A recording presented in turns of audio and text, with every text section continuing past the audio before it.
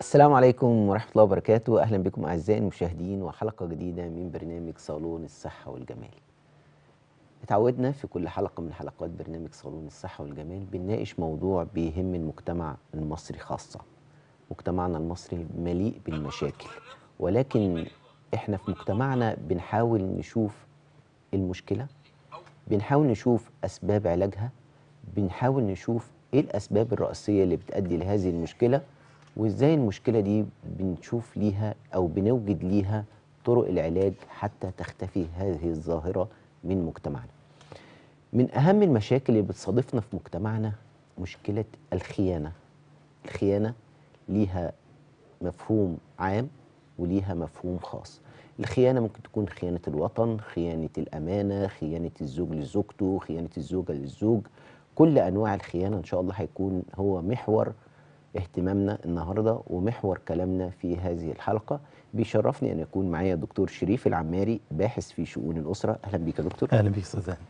وبيشرفني أعزائي المشاهدين بيكون معانا الإعلامية نهال علام. أهلا بيك يا نهال. أهلا بيك يا هاني. كل سنه وحضراتكم طيبين وأنت طيب. بخير. بمناسبة شهر رجب بقى. وأنت بخير وصحة وسلام آه، هبتدي بيك يا دكتور وأقول لك آه، ال- كل واحد مننا الله سبحانه وتعالى أعطى الأمانة عرض الأمانة على السماوات والأرض فأبين أن يحملنها وحملها الإنسان وكان الإنسان ظلوما جهولا. نعم. اذا هناك أمانة وهناك خيانة للأمانة. نعم. أصبح الإنسان بني آدم بيخون تلك الأمانة.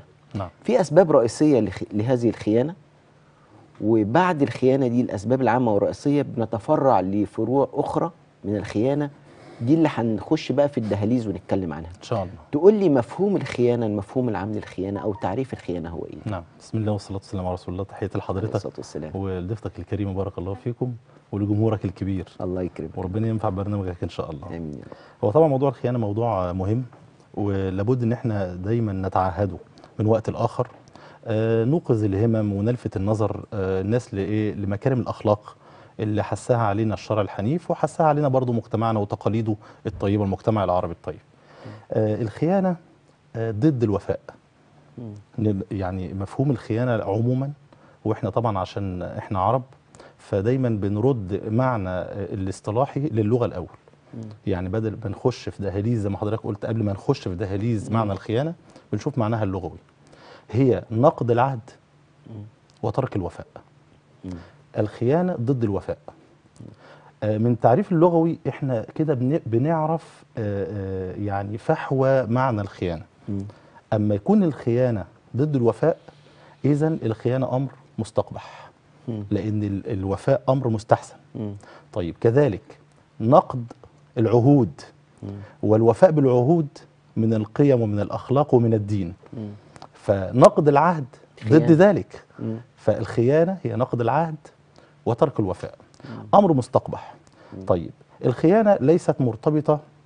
ب... بزوجين فقط وإنما الخيانة دايما بيكون ليها طرفين لأن العهد ما بيكونش مع طرف واحد.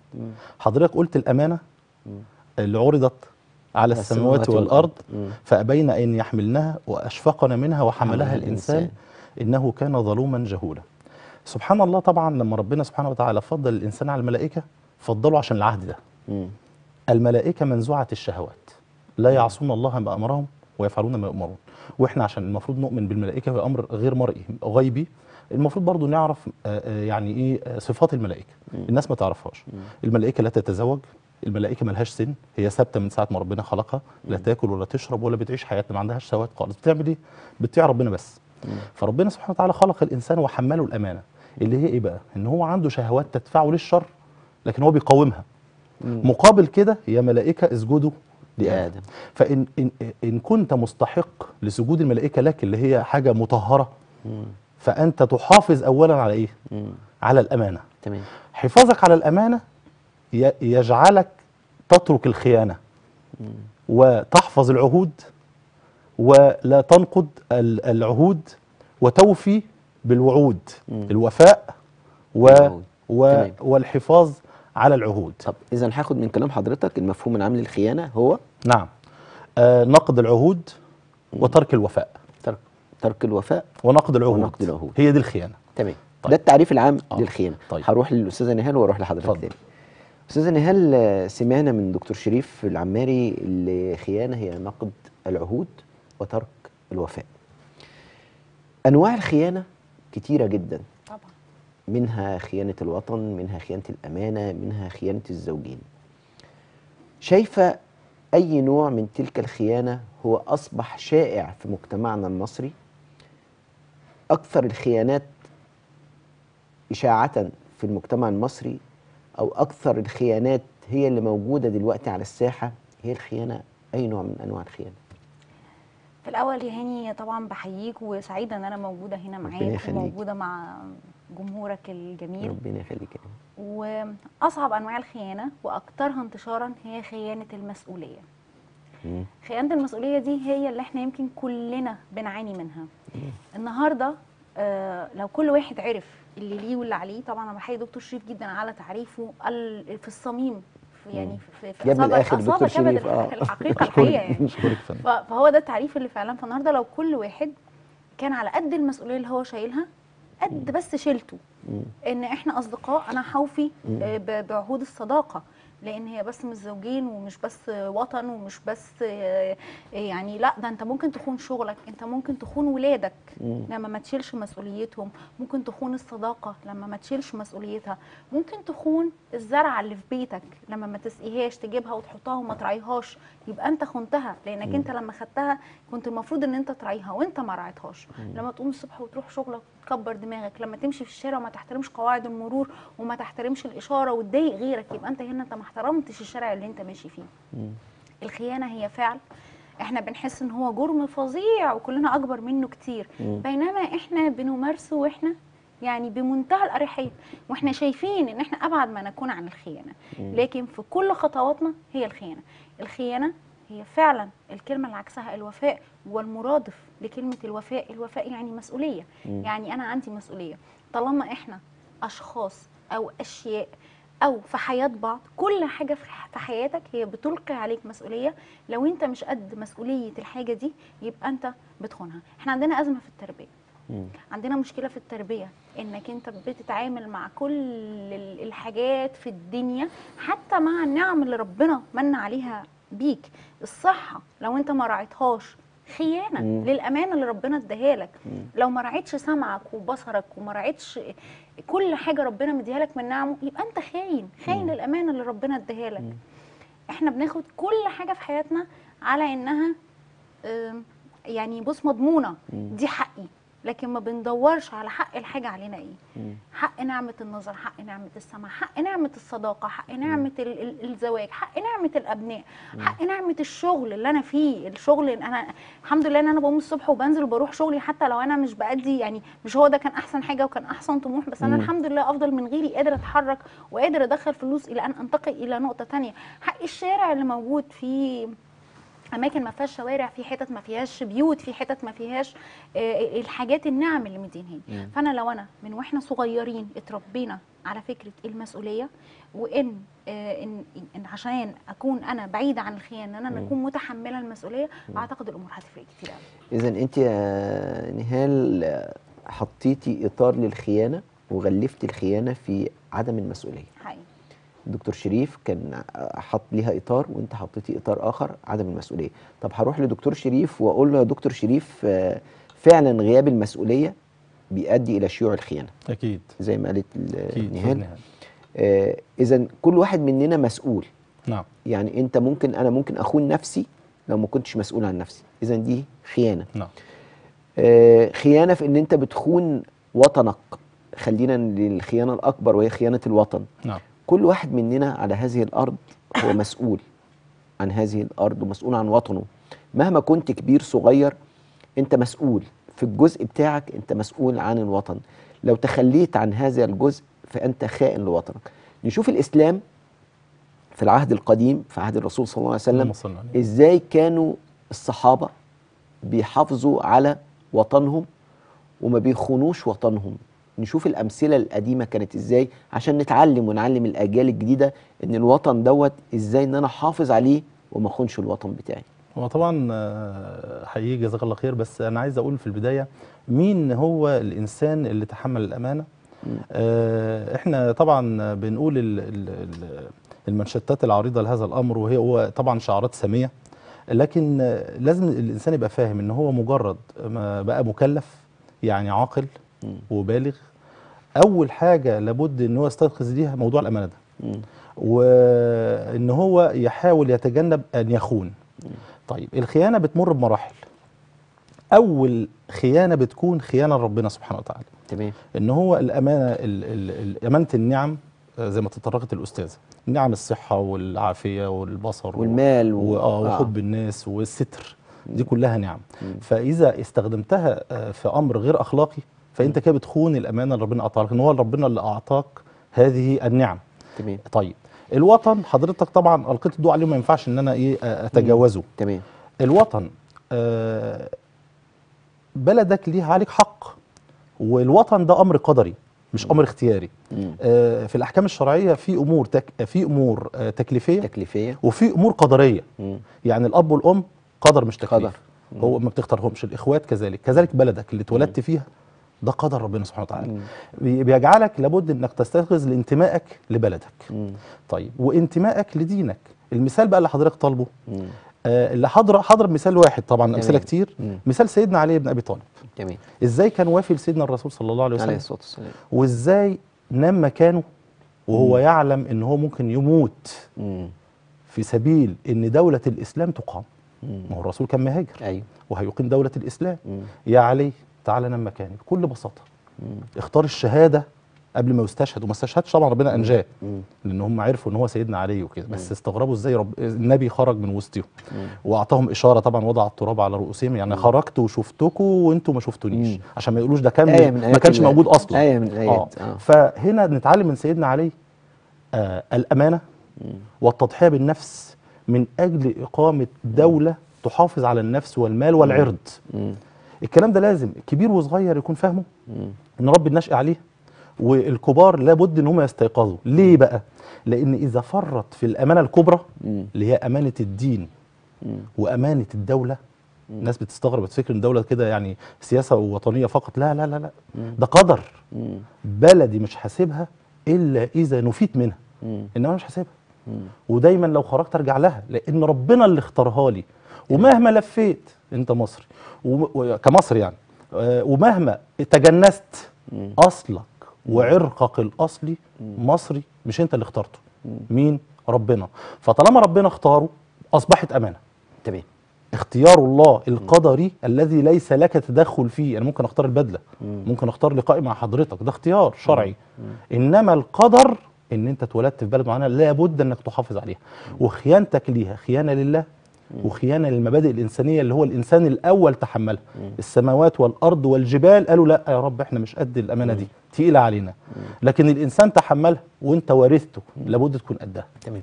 دكتور بيحضرني برضو يا نهال آه، لأفضل مثال للأمانة وهو مثال الرسول صلى الله عليه وسلم اللهم صل عليه. عندما كاد أن يهاجر خلاص ماشي وهيهاجر من مكة إلى المدينة وودع إليه الأمانات بتاعت كفار قريش كلها. نعم.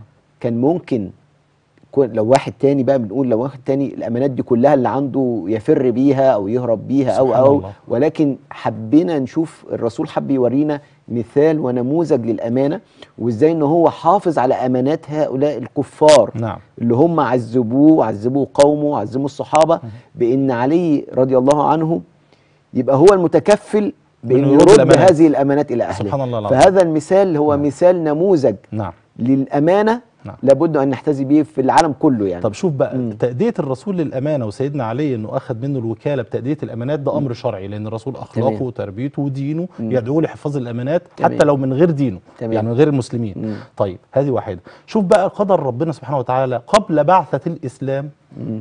كان يلقب الرسول صلى الله عليه وسلم بالأمين. بالأمين. وفي رواية الصادق آه. الأمين. تمام. فتخيل يعني إحنا واخدين الأمانة من قبل البعثة آه. من أخلاق سيدنا الرسول صلى الله عليه وسلم. بأمانة الدين؟ مم. أمانة الوطن الذي اختير لك من قبل الله. مم. ثم بعد ذلك الأمانات في المعاملات الحياتية اللي حضرتك إن شاء الله. تتطرق ليها. تمام. نهال هروح لك وأشوف آه، في نوع من أنواع الخيانة. الخيانة الإلكترونية بقى. خلينا نتكلم ب... عشان الناس تبقى عارفة إحنا بنتكلم في إيه ولازم نبقى ما نحطش راسنا في الرمل. إحنا لازم نتكلم ونتكلم في المواضيع الشائكة اللي ممكن الناس تبقى مكسوفة تتكلم فيها. وهنتناولها إزاي نشوف المشكلة وازاي نحلها. الخيانة الإلكترونية والنت والإنترنت والفيسبوك ده كان سبب من أسباب شيوع الخيانة. وشيوع الخيانة بين الرجل والمرأة. الرجل بيدور على واحدة تانية في العالم الافتراضي والمرأة بتبص لراجل تاني في العالم الافتراضي بتكون مفتقدة لبعض الحنان لبعض الكلمات لبعض الاهتمام بتلاقيه مع إنسان تاني. وبرضه نفس الحكاية الرجل مفتقد لبعض الحاجات وبعض الأشياء اللي هو محتاجها بيلاقيها مع إنسانة أخرى. تفسري لي بإيه الخيانة الإلكترونية وإزاي انتشرت وإزاي كانت سبب في هدم بيوت كبيرة جدا وأسر كثيرة جدا.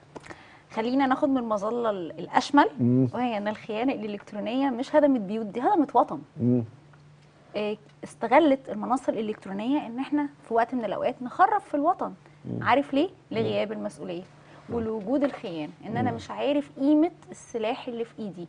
فيلا جالك خبر اعمل share أو اعمل like أو ابتدي انقله حتى في المحيط اللي انت قاعد فيه وابتدي حطه على على- صفحتك وابتدي انقل الخبر المغلوط ده ما بين الناس. سواء بقى كانت معلومة تخص الوطن والله ده لو تخص إن المية هتقطع في الشارع وانت مش متبين منها شوف الربكة اللي هتعملها في الشارع قد إيه. طبعا. فبالتالي أي حاجة بنحطها على صفحاتنا تكون مش مظبوطة وما فيهاش قدر من المصداقية وما فيهاش مسؤولية التحري. أنا أنا وظيفتي إيه؟ إيه الفرق ما بيني وما بين الجهاز اللي أنا شغالة عليه؟ إن أنا ربنا اداني مخ أفكر بيه. الجهاز ده ما عندوش مخ. يبقى أنا لازم أختار الحاجة اللي أنا بحطها على صفحتي علشان يكون عندي أبعد عن خيانة الامانه لو إحنا بنعمل ده عارفين إن في خيانة للأمانة وأنا بشير على صفحتي على الفيسبوك يبقى أنا هنا هبتدي اتحرى في الحاجة اللي أنا بحطها. طيب خيانة الرجل والمرأة. أنت قلت كلمة رائعة في العالم الافتراضي. ما هو عالم افتراضي بلا مشاكل. الناس بتخلص مشاكلها وبتخلص خناقاتها وبتخلص كل اللي وراها وال- والعيال وأمهم وأبوهم والطبيخ. وبعدين نروح بقى للعالم الوردي الافتراضي. لو سواء الست سواء الراجل سواء الشخص هنسميه الشخص اللي رايح على العالم الافتراضي ده. لو بس فكر للحظة إن ده افتراضي افتراضي يعني ملوش وجود ملوش واقع أعتقد إن هو هيرجع تاني يعني هيرجع مراحل لورا. الشكل ده من الخيانة موجود طول العمر. من أول التليفون أبو سلك اللي كان بيلف البيت ده كانوا ياخدوا التليفون بس كان بيتقفش يعني. آه. يعني السلك يشوفوه ماشي على أنهي أوضة فيعرفوا يجيبوا بقى، التليفون آه. مين لكن دلوقتي التليفون ولا بقى سلك ولا بقى صوت ولا بقى أي حاجة بقى خالص. سايلنت silent وتقدر يعني زي ما أنت عايز و hide اعمل كمان خبي ال application وخبي ال- الحاجات اللي بتجيلك عليه ال notifications والكلام ده كله. فالموضوع. كله بقى سهل قوي قوي قوي قوي كل ما كانت الدنيا سهلة كل بقى هنا ما انت كل إناء بما فيه ينضح انت اتربيت على إيه هقول لك على حاجة هاني وأتمنى إنها ما تزعلش الناس مني. بس أنا دايما بقول إيه مم. بقول إحنا آه، اختزلنا فكرة الست ال ال ال الكاملة في الست أمينة مم. في ثلاثية نجيب. محفوظ طب هي الست أمينة شافت إيه من الدنيا عشان نوصفها بإنها امرأة كاملة وعاقلة خرجتش من باب ما البيت. خرجتش من باب البيت يوم ما خرجت السيسات طلقها فيعني ال- العقاب كان في منتهى الشدة وفي منتهى الصرامة. لكن البني آدم بقى اللي بيختبر في الحياة اللي بيبقى زي معلش اسمح لي أقول لك اللي بيدعك في الحياة. هو ده اللي أنا أقدر أحكم عليه. وهو ده الرسالة اللي إحنا جايين بيها. ما كان لسه الدكتور بيقول لك بيقول لك الملائكة ما ربنا لو عايزنا ملائكة ومطيعين وحلوين وبنسمع الكلام كان قادر يخلقنا كده. لكن ده خلقنا. وقال لك إيه؟ الهمها فجورها والهمها تقواها. حطينا نص نص 50% 50% هتعملوا إيه في الحياة دي؟ هتعملوا إيه في المغريات دي؟ فكل واحد فينا هو بيفتكر آه صحيح محدش شايفك آه أنت وجهازك مهما خوفوك وقالوا لك تجسس ومش عارفة إيه بس في النهاية من أنت يعني عشان يتجسسوا عليك لكن في النهاية في ربنا شايفك. في أنت نفسك قدام نفسك وأنت باصص في المراية شايف نفسك إزاي؟ ما أنت بعد ما قفلت أو بعد ما ما يعني عملت كل اللي أنت عايزه والموضوع عشان سهل بيجرجر بيخليك تروح في سكك تقول ده أنا الأول إيه؟ ده أنا هتكلم بس ده أنا مش عارفة إيه بس طب هنفتح الكاميرا بس ده ما أعرفش هيحصل إيه بس. وبتلاقي نفسك رايح في سكة ما بقتش فارقة.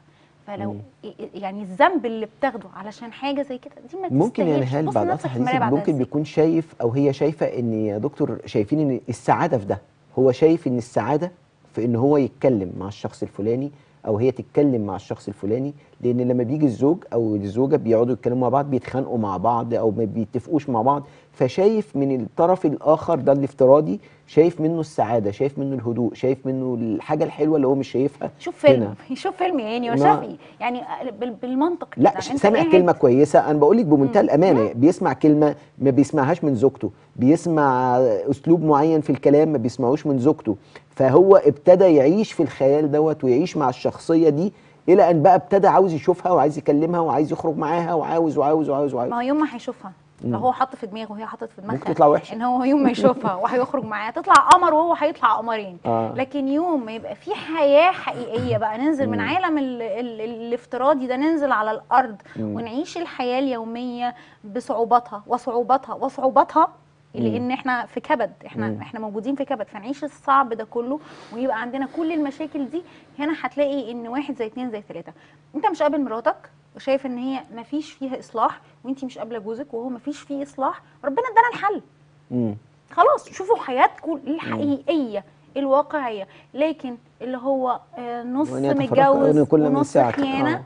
خلاص ليه؟ لكن أنا شايف إن الحلول اتقفلت معايا. طالما أنا مستمر يعني في أمل. طالما أنا مستمر يبقى لسه في فرصة. هناخد الأمل منك ونروح للدكتور شريف. دكتور شريف آه، النهال اتكلمت عن المسؤولية برضو يعني محيطة بالخيانة حطها في إطار المسؤولية نعم. واتكلمت الإخلال بالمسؤوليه بيؤدي لحاجات كتيرة جدا. نعم. طب أنا عايز أدخل بقى في الدهاليز معاك بقى وهناخد عن الخيانة. إحنا بنتكلم في الموضوع دوت لأنه موضوع مهم جدا وشائك جدا وممكن الزوج والزوجة قاعدين بيتفرجوا علينا دلوقتي كل واحد من منهم عاوزنا نتكلم بلسان حاله. يعني نعم. عاوزنا نتكلم بلسان حاله ونقول إيه الحكاية اللي بتحصل ديت. نعم. الزوج بيخون. وهنقول الزوج ممكن يكون بيخون. إيه السبب الرئيسي اللي يخلي الزوج يخون زوجته؟ إيه السبب الرئيسي اللي يخليه عاوز يتكلم مع واحدة تانية أو يقعد مع واحدة تانية أو يخرج مع واحدة تانية أو عاوز ي... يتجوز واحدة تانية أو يكون على ما تقولش بواحدة تانية بلاش الزواج لأن الزواج ده أمر شرعي ما- فإيه ما- ماشي لا أنا الخيانه. إحنا الخيانه أمر ما مذموم هو أنا بقول لحضرتك آه. في أزواج آه. بيشوف ما واحدة هو عشان بساعات بتبقى الزواج ذريعه ليه ما أنا يقول عايز أقول أصل أنا لحضرتك عايز أتجوز أنا. عايز أتجوز آه. طب إحنا إيه السبب الرئيسي اللي بيخلي الزوج يخون هو ال- الخيانة في ال social دي أقرب حاجة دلوقتي للناس لأنها طبعا هو قاعد في بيته مستور خالص ما حدش شايفه غير ربنا سبحانه وتعالى فبيبقى يستسهلها يعني. مم. فهي الخيانة انتكاس أخلاقي وفيها أمر سيكولوجي برضه مم. نفسي. تمام إن هو بيكذب آه، كتير فيها وبيتجمل آه، ويذكر ما ليس فيه مم. آه، سواء الطرف الرجل أو المرأة. تمام؟ وهو ناسي إن اللي بيكلمه ده أصلا ممكن يكون آه، واحدة ست أو راجل بدل الست وبتتكلموا على إنها ست. مم. يعني شوف حضرتك هو هنا آه، انتكس اخلاقيا. ليه بقول انتكس اخلاقيا يا أستاذ هاني لأنه عارف إن ده حرام. مم. وعارف إن ده غلط. ما هي الم- ال- المقاصد بتاخد حكم الأعمال برضه. يعني إيه؟ لو أنا هعمل عمل كويس يعني واحد عايز حلال يبقى لازم تطرق له باب حلال. مش تلصص وتجسس وتحسس. ما ينفعش. لازم إن أنت تطرق الباب الحلال. فأنت إذا كنت أنت زي ما حضرتك قلت كده بحوج الزواج طب هو الزواج طريقه إنك تخبط على الشباك ولا في وق- وقت البيوت من أبوابها؟ فهو في الأول انتكاس أخلاقي. أنت هنا فقدت أخلاقك ثم فقدت إيه؟ إيمانياتك. طيب. فالأسباب آه، هنا لما أجي أقول على أول سبب لازم أقوله إن أنت آه، مريض. ده مر- مرض. تمام. مرض نفسي يعني انت اديته الاضطراب النفسي ما ليه ليه آه. ليه يا أستاذ هاني أصل أنا لما أحط أسباب هو هيقول آه أنا عندي الأسباب دي مم. يبقى أنا اديته ذريعة ذريعة لا آه. الخيانة خطأ ما تسببها ليش مم. ما فيهاش أسباب ولذلك بعض بعض العلماء تطرقوا إن هي أصلا آه، ممكن تكون في طبعك وأنت لا تدري مم. ما هو ال social كشف أمراض موجودة عند الناس مم. ما كانوش يعرفوها ولذلك ما, بي ما بيخلاش منها حد. ممكن واحد يكون ذو مركز مرموق ويعمل حاجات بتاعت عيال صغيرة. هو في حياته ما بيعملهاش. لكن لما جاله السبيل انتكس. يبقى انت كان عندك رواسب وما كنتش تعرف. طيب الرجل والمرأة. إحصائية بتقول إن 90% من اللي بينجرفوا وراء الانزلاق في الخيانة الإلكترونية خاصة. والخيانة عموما رجال. رجال. مش نساء لأن أصل النساء آه، أساسها من آه، من خلقة ربنا ليها على أي دين إن هي أمانة عند نفسها. مم. واخد بال حضرتك؟ إن هي طبعا ب- ب- ليها بتخلق حيائها. هي أصلا بتخلق. المفروض تحافظ على نفسها لأن هي بكر. واخد بالك هي بتخلق بكر. فالبكر ده حفاظ أمانة. فهي مخلوقة على الأمانة. ومخلوقة على الحفاظ على النفس. ف ف فتلاقي إن انجراف الرجل أكتر. مم. ليه؟ لأن مش هيسيبوا آذى قوي زي ما ما تصاب مم. المرأة. تمام. تمام؟ ف آه، لما اختلى ظهرت الأمراض اللي عنده دي. فلذلك أنا بقول أنت لما دخلت تعمل أنت عارف إن ده غلط وعارف إن ده نقد للعهد اللي بينك وبين زوجتك. إيه ال- العقد العهد اللي بينك وبين زوجتك؟ الصراحة والوضوح. عارف حضرتك الكذب في الزواج يفسخه. يعني لو واحد عنده مرض وتزوج وبعد كده الزوجه اكتشفت أو أهلها من حقهم شرعا إن هم يقاضوه إنه خبى عليهم إنه مريض تمام. ويفسخ العقد تمام. مع احتفاظها بالحقوق. تمام. كذلك هي لو أخفت عنه أمر مرض أو غيره و و و وعرض ذلك على القاضي ممكن يفسخ العقد يعني مش طلاق. ده يبقى العقد أصلا أظن ما حصلش مم. مع الاحت... اظنها مخطوبة وتاخد حقوقها لأن كان التدليس منه هو. تمام. تمام؟ فهو النهارده نقض العهد اللي بينه وبين زوجته لما تلصص على أخرى بطريقة غير أخلاقية وغير شرعية.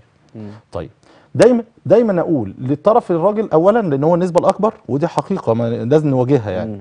آه دايما بقول له ضع نفسك مكان الطرف الآخر لأن الإسلام ساوى مم. أنا بتكلم كراجل مسلم وبتكلم في مجتمع فيه المسلم وغير طب المسلم هسأل حضرتك يا آه. دكتور هل آه، الزوج بيقول أنا بخون ممكن يكون السبب من أحد الأسباب هو الدافع الجنسي هل ممكن يكون يقول لك أنا راجل وليا الحق إن أنا أتجوز واحدة واثنين وثلاثة وأنا بشوف ممكن أتجوز واحدة أو اثنين أو ثلاثة من خلال اللي أنا بعرفهم دول فأنا ليا الحق إن أنا أعرف دول؟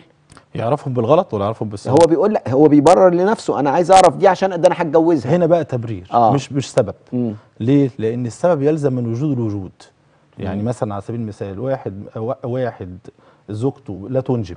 مش هقول إن فيها إيه آه تقصير لا تمام. مش مقصره لكن لا تنجب ده سبب مم. فعايز يتزوج عشان إيه سبب عشان الإنجاب إنجاب. مم. خلاص إنما التبرير بقى ده اللي بيبقى فيه مماطلة مم.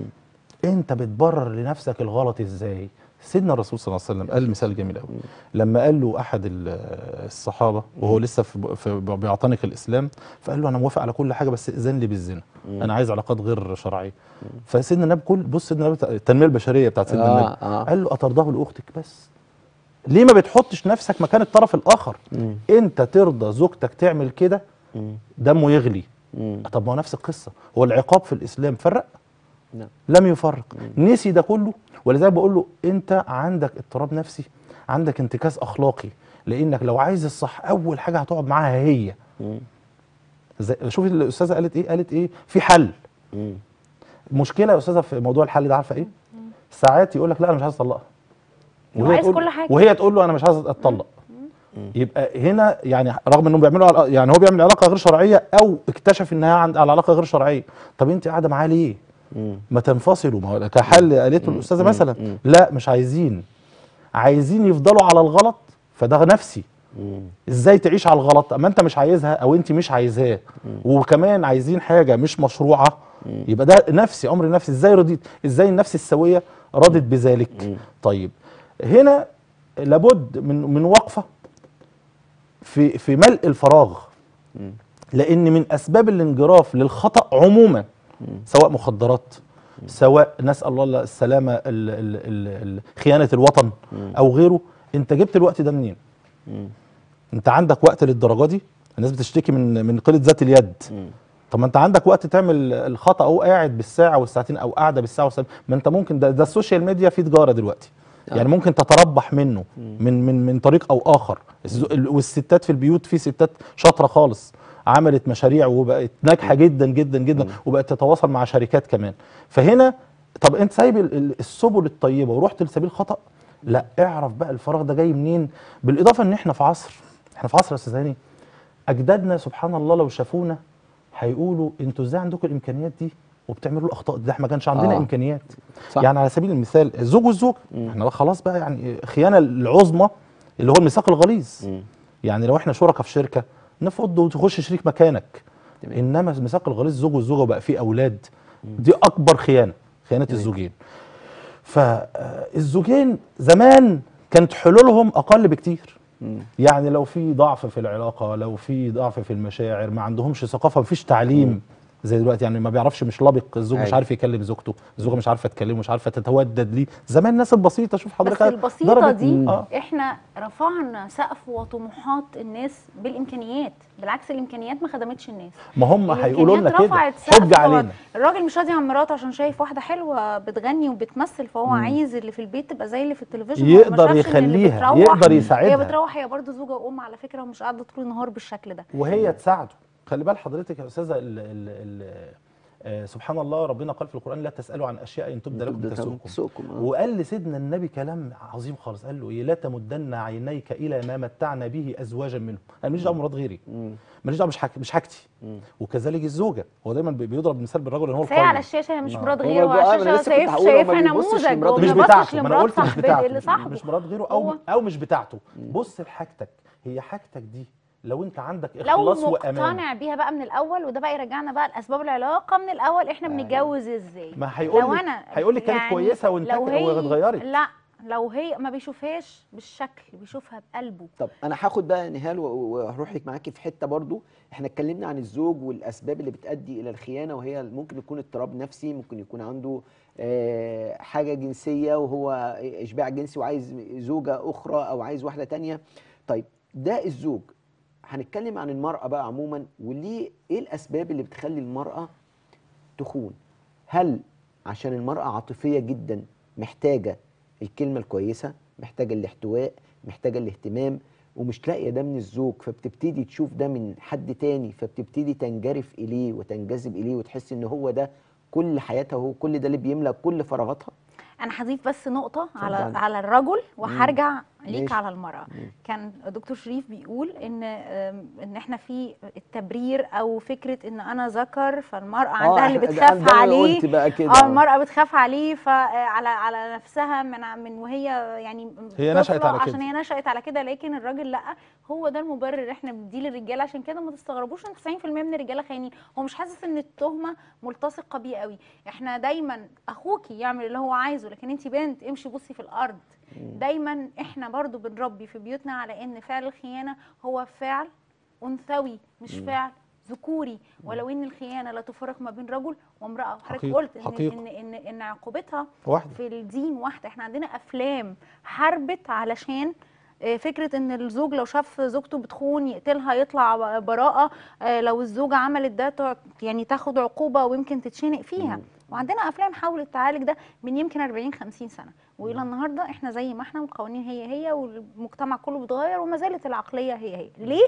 علشان المبرر إن أنا ببرر للراجل انك انت راجل ما يمسكش حاجة.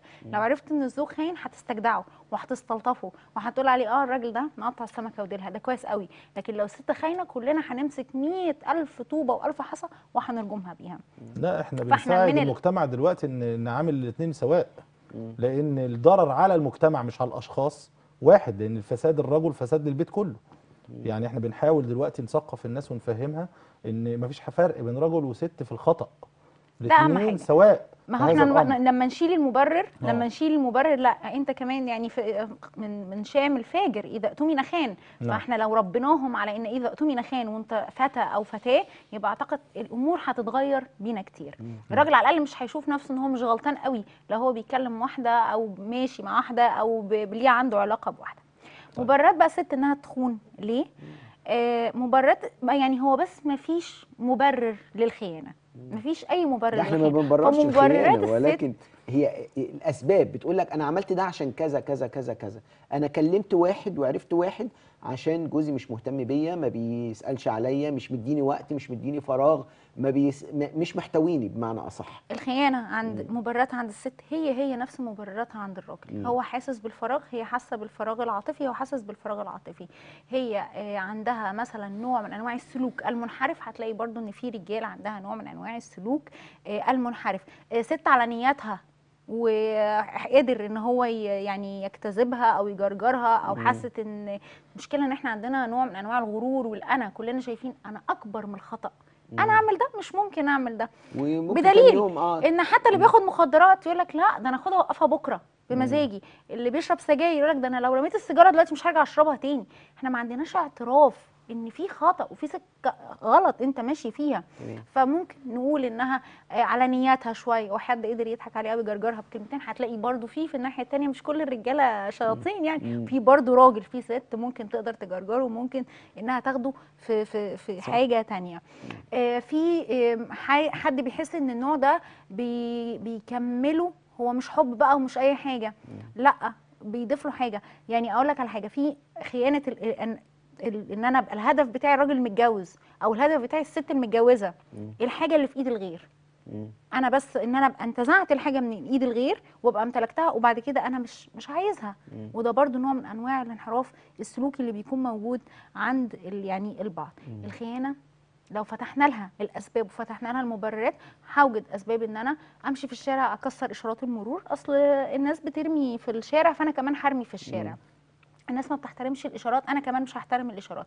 هلاقي مبرر لخيانة الوطن هلاقي مبرر لخيانة الشغل هلاقي مبرر لخيانة الأولاد. الأم والأب بيخونوا ولادهم لما ما بسمعهمش لما ما ادهمش من وقتي لما ما اهتمش بمشاكلهم لما تفه وسطح في اللي هم بيقولوه لما أكون أنا ما, ما بصرفش عليهم كويس لما أتخانق مع أمهم فاسيب العيال وماليش دعوة بيه كل دي أنواع من يعني كل دي خيانات إحنا. بتحصل وبنشوفها بس ما بنشوفهاش خيانة. طب هناخد كارما ونشوف كارما هتقول إيه. كارما اتفضلي.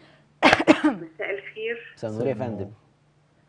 أنا ليا عتاب صغير قوي. أنا عمالة أرن عليكم. معلش إحنا آسفين يا فندم.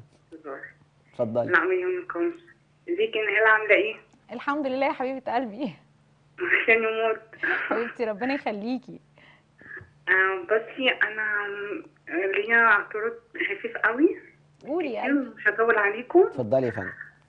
أنا يعني أنا متجوزة ومعايا جوزي يعني بيتكلم كتير على الفيس فيسبوك و... وكنا متفقين ان محدش يخون التاني ويعمل اي حاجة من وراه تمام معايا آه يا كارما كم- كملي سامعينك بس وبعد كده لما لقيته بيتكلم مع حد كذا حد يعني واتاكد مم. قلت له اللي أنا هعمل زي ما أنت عملت بالظبط.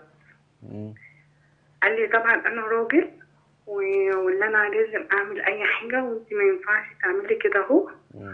قلت له لا ليا الحق اعمل اي حاجة زي ما انت عملت وفعلا اتكلمت وقابلت كمان يعني كده عرفته اللي زي ما انت خنتني أنا ممكن اخونك غلط.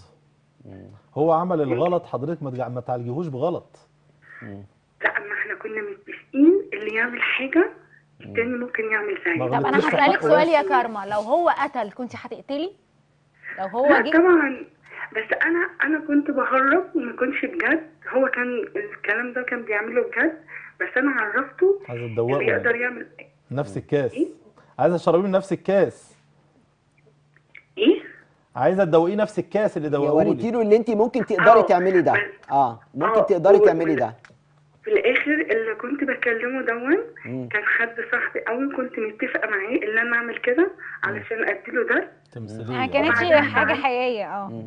مع ذلك إيه بقى أنت أنت كده. ريحتيني عشان أنا كنت هبقى زعلانة عليكي أنت سيبك منه هو حبيبتي. خالص. بصي سيبك منه هو خالص هو بني آدم خطاء هو بني آدم وحش هو بني آدم خاين غلط خلاص لكن أنا البني آدم الغلط ده يلوثني يخليني يصب بغلطه في كاسي؟ لا أنا كاسي أنقى وأطهر من إن أنا إن أنا أدنسها عشانك أنت عشان أبقى راسي براسك. نبقى إحنا الاثنين خاينين زي بعض ليه؟ فأنت كده طمنتيني كارما إن أنت مش كده يعني. كارما ليا سؤال عندك أيوه طبعا. ليا سؤال عند. حضرتك. ليا سؤال عند حضرتك. أنت دلوقتي عرفتي إن هو خانك بمعنى أصح إن هو عرف واحدة غيرك أو بيتكلم واحدة غيرك.